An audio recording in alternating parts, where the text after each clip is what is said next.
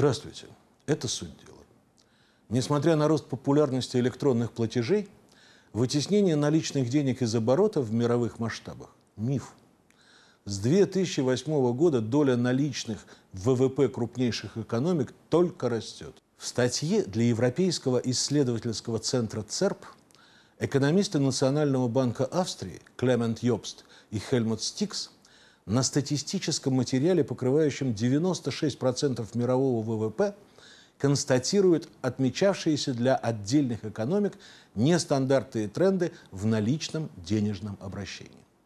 Несмотря на широко обсуждаемое падение использования наличных в экономике Франции, Норвегии, Швеции, с 2007 года рост доли наличных в ВВП – общемировая тенденция, распространенная на США, зону евро, Швейцарию и Японию. Она менее выражена в странах с низким уровнем долларизации экономик, хотя и там она выше, чем в 2003 году. Как отмечают австрийские ученые, текущие объективные успехи электронных денег в Северной Европе и отдельных странах ЕС не мешают увеличивать потребности экономик в банкнотах. Ну, доля монет в наличном обороте так или иначе падает из-за их более высокой себестоимости из-за инфляции. Традиционно монетами покрываются мелкие денежные номиналы. Потребность в наличных уменьшает спрос на безналичные платежи – увеличивают рост сектора розничных услуг, в которых наличные сейчас используются чаще, чем в ритейле. Во многом это часть монетизации экономик. И динамика теневого сектора, в том числе чисто криминальная его составляющая, низовая коррупция, оборот наркотиков и оружия, наиболее агрессивные схемы ухода от налогов некрупными бизнесами, отмывание денег и отчасти контрабанды распространение легальных безналичных платежей может скрывать реальные масштабы тени. И без этого, учитывающиеся статистическими ведомствами, очень слабо. Для России тренд роста доли наличных по сути еще не сформировался. Но он, очевидно, есть, поскольку распространение безналичных платежей в России идет в последнее десятилетие очень быстро, компенсируя ранее существовавшее отставание номинальный рост объема наличных ВВП в случае России совпал с периодом быстрого снижения инфляции и падения доходности депозитов. С большой вероятностью процесс будет продолжен и в 2018 и в 2019 годах. Возможно, на рост популярности наличных рублевых сбережений повлияла кампания Центробанка по отзыву лицензии у банков.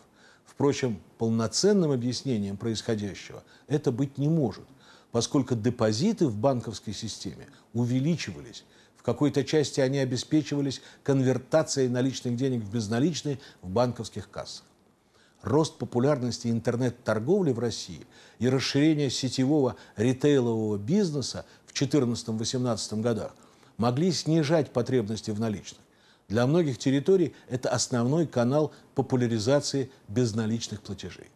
Наконец, перевод бюджетного сектора на карты МИР – и успешная борьба Центробанка с рынком обнала, резко увеличившая стоимость нелегальной трансформации безналичных в наличные, тоже играли против показателя банкноты в сопоставлении с номинальным ВВП. А по последним данным Росстата, доля занятости в тени населения России в 2017 году снижалась но это все равно не помешало наличным расти. При этом России практически не касается главный эффект, обсуждаемый австрийскими экономистами. В ЕС, США и Швейцарии рост доли наличных может быть объясним не столько внутриэкономическими процессами, сколько растущим спросом со стороны экономик третьих стран на наличные евро, доллар и швейцарский франк, как средство сбережения в странах с нестабильным курсом и как платежное средство в теневом секторе. Наличный рубль, как иностранная валюта, имеет ограниченную популярность в ряде стран СНГ. Причем в крупнейшей соседней экономике на Украине спрос на наличные рубли из-за сокращения товарооборота как минимум не вырос с 2014 года. Полностью растущую популярность наличных в мире долларизация также не объясняет. И тем более показателен на этом фоне рост доли наличных ВВП Японии и Британии, где она традиционно выше. Если в случае Британии показатель вырос с 13,3% в 2007 году до 16,1% в 2014, в России не более 10%, более или менее синхронно с ростом доли оцениваемой тени, то в Японии тень сокращалась.